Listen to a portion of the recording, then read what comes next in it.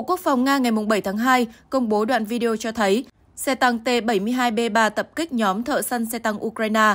Theo đó, nhóm trinh sát của Nga đã xác định được vị trí của kíp chiến đấu chống tăng Ukraine trong một ngôi nhà đổ nát. Kíp lái T-72B3 ngay lập tức di chuyển vào vị trí khai hỏa và bắn pháo vào tọa độ của mục tiêu. Theo Sputnik, đây là một diễn biến bất ngờ khi nhóm thợ săn xe tăng Ukraine bị tập kích bởi thứ đáng lẽ ra là mục tiêu mà họ phải tiêu diệt. T-72B3 là phiên bản được hiện đại hóa của xe tăng chiến đấu chủ lực T-72 do Liên Xô thiết kế, được đưa vào trang bị cho lục quân Nga từ năm 2013. T-72B3 được cải tiến, giúp xe tăng này ổn định tốc độ cơ động, cải thiện đặc tính chiến đấu, khả năng bảo vệ và khả năng kiểm soát. Vũ khí trang bị chính của T-72B3 là pháo nòng trơn 2A46M5 125mm với số đạn mang theo là 40 viên. Pháo có khả năng bắn các loại đạn xuyên giáp và các tên lửa chống tăng như 9M119 Sphere hoặc 9M119M Reflex. Vũ khí thứ cấp được trang bị cho xe là súng máy PKTM 7,62mm được gắn đồng trục bên phải vũ khí chính và một súng máy NSV 12,7mm được gắn trên vòm chỉ huy.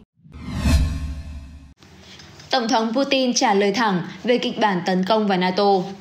Trong một cuộc phỏng vấn tại Mỹ, Tổng thống Vladimir Putin nói rằng Nga không có ý định tấn công các quốc gia thành viên NATO và sẽ chỉ trả đũa nếu bị tấn công trước. Các nước phương Tây đang cố gắng đe dọa người dân của họ bằng mối đe dọa tưởng tượng từ Nga. Những người thông minh rất hiểu rõ rằng điều đó là sai trái. Khi nhà báo Mỹ hỏi Tổng thống rằng liệu ông có thể tưởng tượng ra một kịch bản đưa quân Nga đến Ba Lan hay không, ông Putin trả lời, chỉ trong một trường hợp nếu có một cuộc tấn công vào Nga từ Ba Lan. Tại sao? Bởi vì chúng tôi không có lợi ích gì từ Ba Lan, Latvia hay bất kỳ thành viên nào khác của NATO. Khi được hỏi liệu ông có mục tiêu lãnh thổ trên khắp lục địa hay không, ông Putin nói rằng điều đó hoàn toàn không thể xảy ra. Bạn không cần phải là một nhà phân tích cũng có thể hiểu được rằng việc tham gia vào một cuộc chiến toàn cầu là đi ngược lại lẽ thường. Một cuộc chiến tranh toàn cầu sẽ đưa toàn thể nhân loại đến bờ vực diệt vong. Ông Putin lập luận thêm rằng Chính phủ phương Tây đang sử dụng chiến thuật hù dọa để thuyết phục người nộp thuế của họ cung cấp thêm tiền để làm suy yếu nước Nga ở Ukraine và các nơi khác. Moscow trước đây đã nhiều lần nhấn mạnh rằng việc NATO tiếp tục mở rộng về phía đông và sự hỗ trợ của nước này dành cho Kiev là một trong những nguyên nhân sâu xa của cuộc xung đột hiện nay tại Ukraine. Các quan chức Nga cũng cảnh báo rằng việc chuyển giao vũ khí và các thiết bị quân sự khác cho Ukraine chỉ dẫn đến leo thang căng thẳng hơn nữa.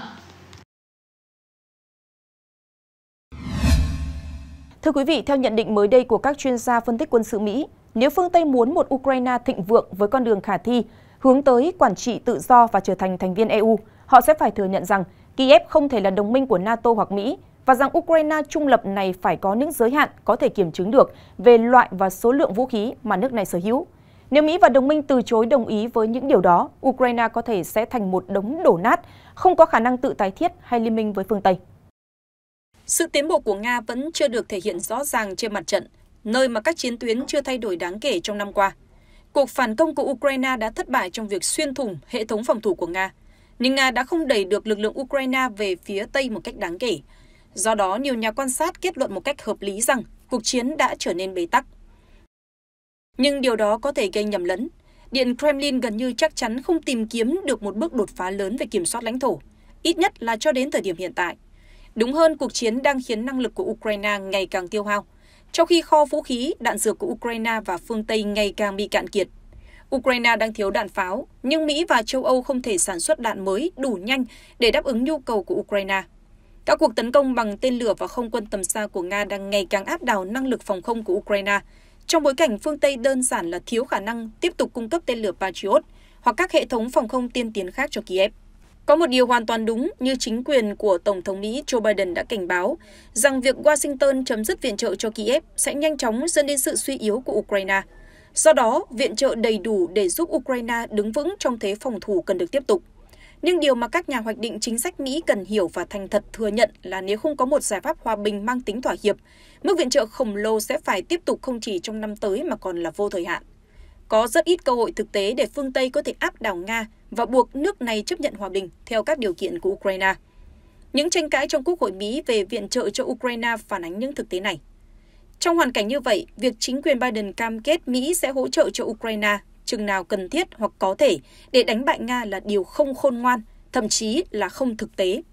Ở Mỹ, nhiều người tin rằng thất bại trong cuộc phản công của Ukraine có nghĩa là phương Tây không còn lựa chọn nào khác ngoài việc ủng hộ cuộc xung đột ở Ukraine trong nhiều năm tới, trong khi tìm kiếm sự thỏa hiệp với Moscow được coi là không mong muốn và vô ích. Thiếu các lựa chọn thay thế, phương Tây sẽ phải tiếp tục con đường hiện tại, hy vọng rằng thời gian sẽ cải thiện vị thế của Ukraine. Nhưng thời gian không đứng về phía Ukraine cả về quân sự lẫn kinh tế, và do đó vị thế của Ukraine trong bất kỳ cuộc đàm phán nào trong tương lai có thể sẽ tồi tệ hơn rất nhiều so với hiện tại. Dân số Nga ít nhất gấp 4 lần Ukraine và GDP gấp 14 lần. Quân đội Nga được chỉ huy tốt hơn và giỏi hơn về mặt chiến thuật so với thời điểm bắt đầu nổ ra xung đột. Đồng thời các biện pháp trừng phạt của phương Tây không có dấu hiệu nào cho thấy có thể làm tê liệt nền kinh tế Nga. Và bất kể quan điểm của Bruxelles là gì, chừng nào xung đột còn tiếp diễn thì rất khó có khả năng Ukraine có thể phát triển kinh tế và bắt đầu quá trình cực kỳ khó khăn để gia nhập EU. Quan trọng nhất, Mỹ chưa thể khẳng định về việc Tổng thống Nga Vladimir Putin không muốn đàm phán. Thực sự rất có khả năng Tổng thống Putin cho rằng Nga hiện đang chiếm thế thượng phong trong cuộc chiến và có đủ khả năng để chờ đợi. Tuy nhiên, ông Putin đã nhiều lần khẳng định rằng Nga sẵn sàng đàm phán và Washington chứ không phải Kiev đưa ra những quyết định quan trọng trong cuộc chiến và do đó Mỹ phải tham gia đàm phán. Đây có thể là nghi binh, nhưng cũng có thể ông Putin nhận ra rằng nếu không có giải pháp, Nga sẽ đứng trước nguy cơ xảy ra một cuộc đối đầu thường trực và kéo dài với phương Tây. Về lâu dài sẽ gây ảnh hưởng nặng đến nền kinh tế của Moscow.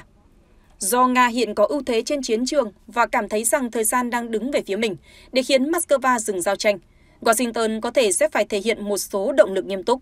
Những điều này sẽ cần bao gồm việc thể hiện rằng Mỹ sẵn sàng đáp ứng những lo ngại của Nga về mối đe dọa an ninh từ Mỹ và NATO đối với Nga.